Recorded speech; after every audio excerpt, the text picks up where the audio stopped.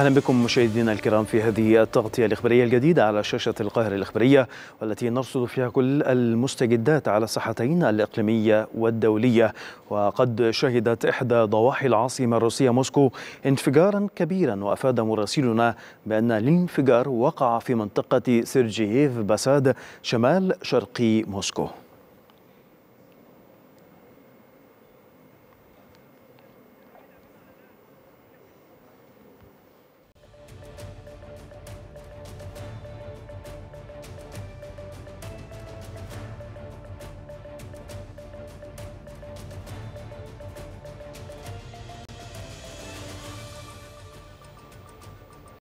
لتفاصيل أوفى حول هذا الانفجار. ينضم إلينا من موسكو مراسل القاهرة الإخبارية حسين مشيك حسين. يعني ما أسباب هذا الانفجار؟ مدى التأثير؟ هل هناك ضحايا نتيجة لهذا الانفجار؟ نعم محمد بعد التحية. أولا دعني أشير إلى أن المصادر الرسمية الروسية تتحدث عن أنه لا وجود لطائرة مسيرة هاجمت مصنع زاكورسك وهذا المصنع هو يقوم بإنتاج وتصنيع المناظير وبالإضافة إلى العدسات الميكانيكية وأيضا العدسات الطبية. المصنع موجود في منطقة سرجيفني بساد التي تقع شمال شرق العاصمة الروسية موسكو أصابت هذا الانفجار 11 شخصا حسب ما أكدت المصادر الرسمية الروسية بالإضافة أيضا إلى أنه بعض المعلومات الأولية تحدثت منذ قليل على أن سبب الانفجار هو مشكلة تقنية وخطأ تقني في المصنع مما أدى إلى حدوث هذا الانفجار. بطبيعة الحال محمد دائما العين تذهب نحو أوكرانيا وإمكانية استهدافها لأحد الأهداف في الأراضي الروسية لكن هذا المصنع هو بعيد عن الحدود الروسية الأوكرانية بالإضافة أيضا إلى أن هذا المصنع في المنطقة التي يتواجد فيها من غير الممكن أن تصله المسيرات الأوكرانية. لذلك الأسباب وراء هذا المصنع يمكن أن تكون أيادي داخلية أو يمكن أن تكون كما سربت بعض المصادر أو تحدثت بعض المصادر عن أنباء أولية بأن أسباب الانفجار هي مشاكل تقنية وخطأ تقني أدى إلى حدوث هذا الانفجار. حتى الآن لا يوجد معلومات عن وجود قتلى نتيجة الانفجار. فقط المعلومات تتحدث عن سقوط 11 جريحا نتيجة هذا الانفجار. السكان الذين يسكنون بالقرب من هذا المصنع وحسب ما حسب ما أكدوه لبعض وسائل الإعلام الروسية أكدوا على أن صوت الانفجار كان قويا. وبعض السكان تخيل بأن القوات الأوكرانية هاجمت هذا المصنع لكن كما ذكرت لك محمد المنطقة التي يتواجد فيها المصنع هي بعيدة جدا عن إمكانية وصولها مسيرات من قبل القوات الأوكرانية وخصوصا بأنه محمد اليوم حاولت القوات الأوكرانية استهداف العاصمة موسكو ولا سيما مطار العاصمة في طائرات مسيرة لكن الدفاعات الجوية الروسية استطاعت من صد هذه المسيرات إذا حسين لا يمكن أن ربط هذا الانفجار بالعمليات العسكرية الموجودة في داخل موسكو التي تقوم بها كييف على مدار الأيام الماضية وخاصة خلال الساعات الماضية شهدت عدة مناطق إسقاط مسيرات تابعة للجيش الأوكراني. محمد روسيا تعيش الآن حالة حرب وحالة صراع مع الغرب ومع القوات الأوكرانية والخطوات الأوكرانية التي قامت بها أوكرانيا وخصوصا الهجمات الأخيرة. لا يمكن بأن عدم ربطها مع إمكانية حدوث أي حادث أو أي شيء خطير في الأراضي الروسية لكن الانفجار الذي وقع منذ قليل بعض المصادر تحدثت عن أن أسبابه هو فقط عمل تقني وأنه لا وجود وجود لهجمات من قبل القوات الأوكرانية أي هجمات عبر الطائرة المسيرة. نعم أهمية هذه المنطقة تحديدا حسين مدى أهميتها بالنسبة للجانب الروسي؟ هل هناك عديد من المصانع الأخرى في هذه المنطقة؟ خاصة أن هذا المصنع ليس له علاقة ربما عسكرية لكن هناك منطقة صناعية ربما تكون موجودة في هذا المكان. بالنسبة للمنطقة محمد هي كباقي المناطق التي تقع ضواحي موسكو يوجد فيها بعض المصانع. بالإضافة أيضا إلى منازل ريفية يسكنها سكان العاصمة موسكو ويذهبون إليها في العطلات الصيفية وأيضا العطلات الأسبوعية أو الإجازات الأسبوعية. لذلك هذه المنطقة ومن المرجح محمد كما تحدثت المصادر بأن سبب الانفجار هو عمل تقني وخطأ تقني لأنه من لا يؤثر هذه المنطقة أو ليس لها تأثير على العملية العسكرية ومسار العملية العسكرية حتى تقوم أوكرانيا باستهداف هذا المصنع لأن هذا المصنع هو يقوم بإنتاج وتصنيع المناظير والعدسات الميكانيكية. أشكرك شكرا جزيلا حسين مشيك من العاصمة الروسية. مسكو شكرا جزيلا لك. قالت السلطات المحلية في فرنسا في بيان اليوم الأربعاء إن أحد عشر شخصا في عداد المفقودين بعد اندلاع حريق في دار للرعاية في شمال شرق البلاد. وقال وزير الداخلية جيرارد دارمانان إن المكان يستقبل نزلاء من ذوي الاحتياجات الخاصة وقد تمكنت الحماية المدنية من إجلاء 17 شخصا ونقل أحدهم إلى المستشفى.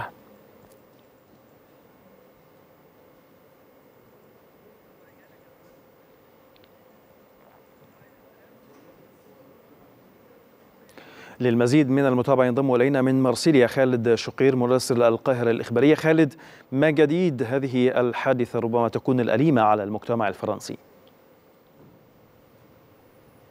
نعم محمد بعد التحية بعد أن استيقظت فرنسا صباح اليوم على هذا الحريق بأحد المعسكرات بمنطقة جراند ومنطقة الألزاس المعروفة وجميع الدلائل بتؤكد أن هذا الحريق ليس لأسباب جوية حيث تحسنت الأحوال الجوية في البلاد. من المعروف محمد أن فرنسا كانت شمال فرنسا على وجه التحديد ومنطقة الألزاس قد شهدت أمطار رعديه وبعض من الحرائق أيضا في منطقة جنوب فرنسا بسبب الرياح الشديدة.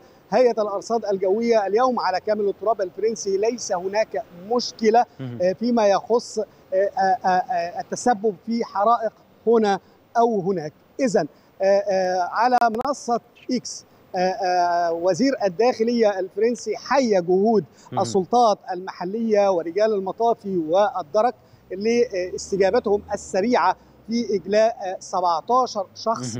وكان الحديث يجري عن أن هناك 11 شخص يعتبروا من مفقودين لم يتم إخراجهم حتى الآن. منذ لحظات سمعنا أن العدد نقص إلى سبعة وأن هناك 11 منهم من ذوي الاحتياجات الخاصة كانوا يعني أتوا إلى هذه المنطقة من مدينة نانسي لقضاء أجازاتهم. هذا المعسكر هو معسكر لاستقبال ذوي الاحتياجات الخاصة. مساحته محمد 500 متر مربع. الحريق أصاب 300 متر مربع حسب السلطات المحلية. شاركت ستة شارك 76 رجل إسعاف.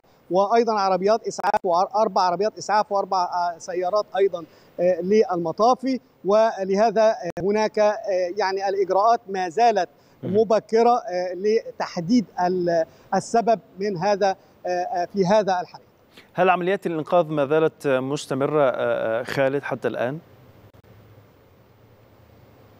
نعم هو يعني حسب البيان من السلطات الصحية أن أن عمليات الإنقاذ ما زالت مستمرة وأن من بين المصابين أحدهم في حالة في غرفة العناية المركزة وآخر في حالة صدمة ما زالت قوات الإسعاف تجري العمليات وبالتأكيد تم فتح تحقيق في أسباب هذا الحادث أو هذا الحريق.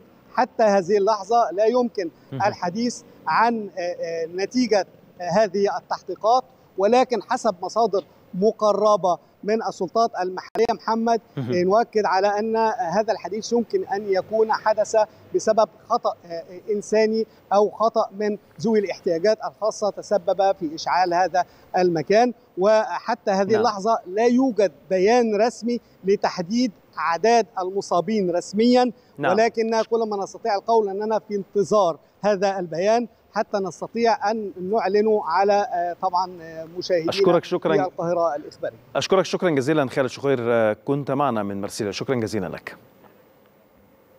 قالت وزارة الدفاع التايوانية إن عشر طائرات تابعة للقوات الجوية الصينية دخلت منطقة الدفاع الجوي للجزيرة برفقة خمس سفن حربية صينية تشارك في دوريات الاستعداد القتالي. وذكرت وزارة الدفاع أنها رصدت 25 طائرة صينية تشارك في عمليات في البحر مضيفة أن عشرا من بين هذه الطائرات إما عبرت الخط الذي يقسم مضيق تايوان أو دخلت الجزء الجنوبي الغربي من منطقة تحديد الدفاع الجوي التايوانية. أعربت الولايات المتحدة عن ثقتها بتبادل المعلومات الاستخباراتية مع اليابان. يأتي ذلك في بعد تقرير لصحيفة واشنطن بوست الأمريكية أشار إلى أن قراصنة للجيش الصيني تمكنوا من الوصول إلى شبكات الدفاع اليابانية الأكثر حساسية. نشعر بالثقة بعلاقتنا مع اليابان. نواصل التنسيق مع أحد أعظم شركائنا في المنطقة. كما نواصل إجراء التدريبات والإجتماعات الثنائية والثلاثية. لذلك نحن على ثقة تامة بأن اليابان ستكون قادرة على معالجة أي مخاوف أمنية لديها.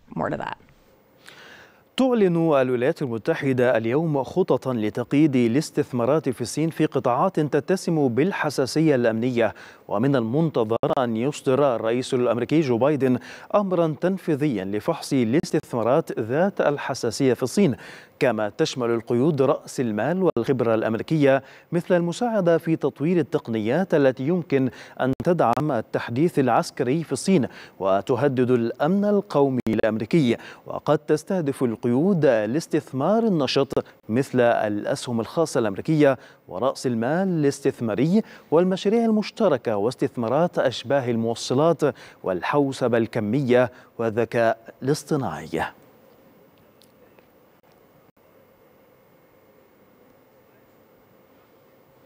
للمزيد من المتابعة ينضم إلينا من دبي يحيى تشو تشوان خبير العلاقات الدولية تقول تايوان أنه التوغل الصيني الثاني هذا الأسبوع برأيك ما الأهداف الصينية من وراء هذه التوغلات؟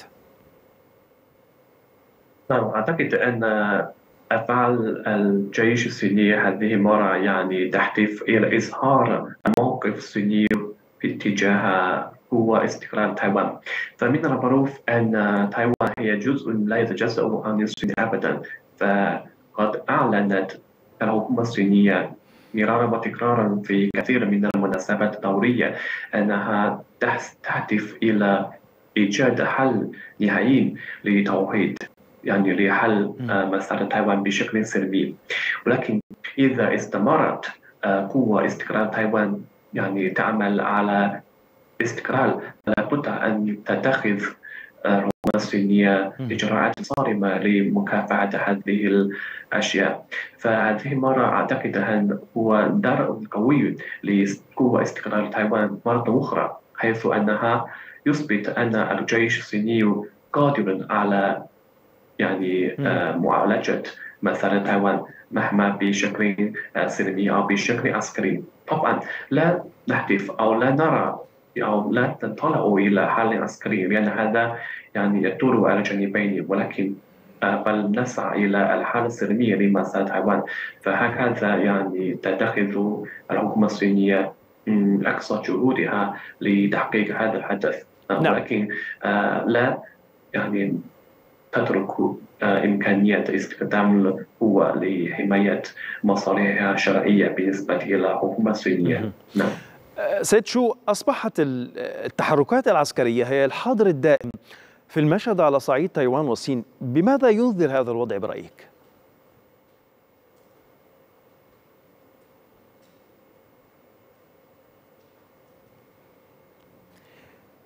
سيد شو هل, هل, هل تسمعني؟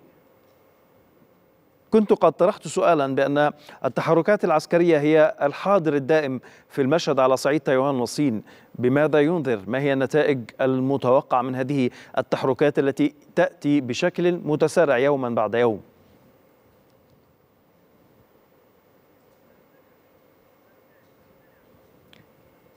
سيد شو؟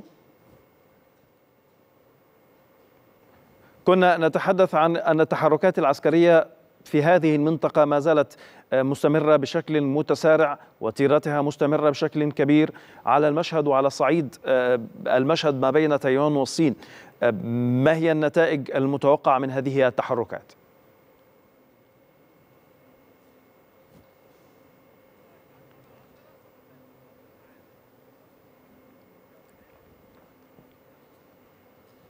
سنعود مرة أخرى إلى السيد شوتشوان من دبي لكن في وقت سابق قالت وزارة الخارجية الصينية إن الصين وروسيا وجهتا استفسارات فنية لليابان بشأن خطتها لصرف المياه المشعة من محطة فوكوشيما للطاقة النووية في البحر. وذكرت الوزارة أن اليابان إذا كانت جادة في معالجة مخاوف جيرانها فيتعين عليها وقف خطة الصرف فورا ومناقشة جميع الخيارات الممكنة للتخلص الآمن من هذه المياه.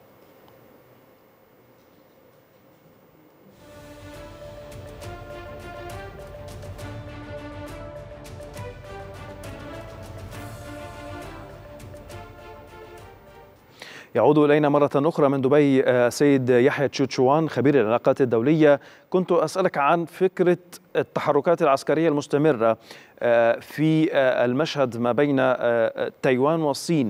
بماذا تنذر هذه التحركات؟ ما النتائج المتوقعة من التصعيد ما بين الجانبين؟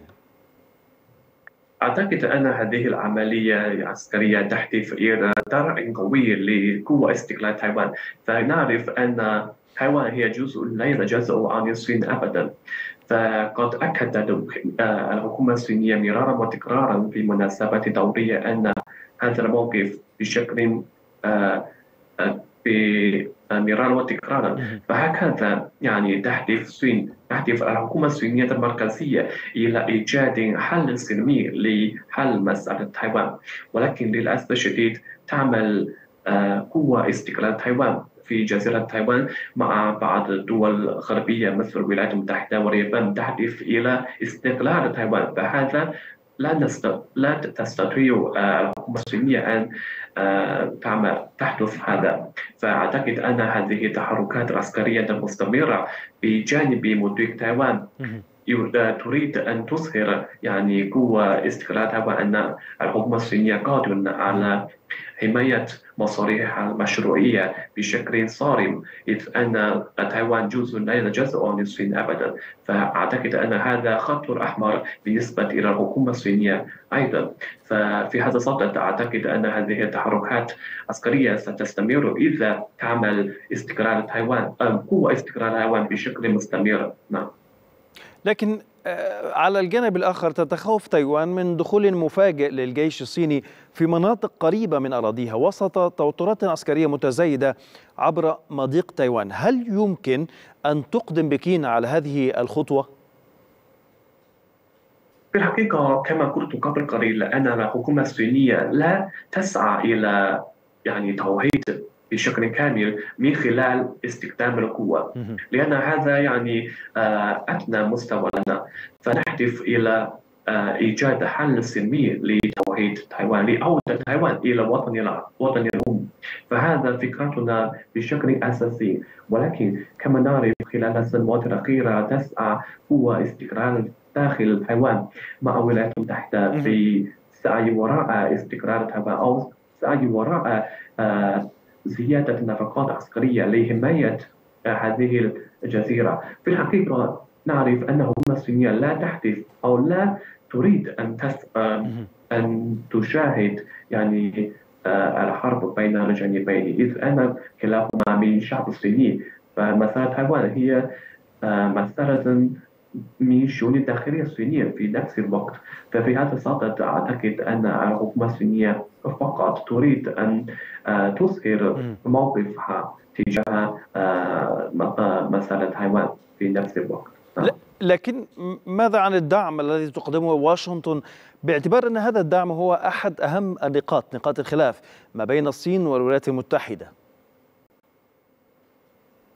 نعم طبعا أعتقد أن إذا نرى يعني الأخبار المتعلقة بمسألة تايوان فنرى أن كل هذه الأخبار في خلفيتها الولايات المتحدة حيث نعرف أن الولايات المتحدة دائما في المركز الأول في العالم مهما كان في مجالات الاقتصادية والعلمية والتكنولوجيا فهي لا تريد أي دولة أن تتقدم ولتحتل مكانها. طبعا الصين لا تسعى إلى تحل محل مكانة الولايات المتحدة. ولكن إذا نرى من التاريخ فممكن أن نرى أن الولايات المتحدة نجحت في مكافحة كثير من الدول مثل بريطانيا واليابان والسوفيتية السابق وغيرها من الدول الأخرى. إذ أنها تريد أن تحافظ على مركزها بشكل أساسي. فهذا من الاستراتيجيات الأساسية بالنسبة إلى الحكومة الأمريكية الآن نعرف أن الصين قد أصبحت ثاني أكبر اقتصاد في العالم.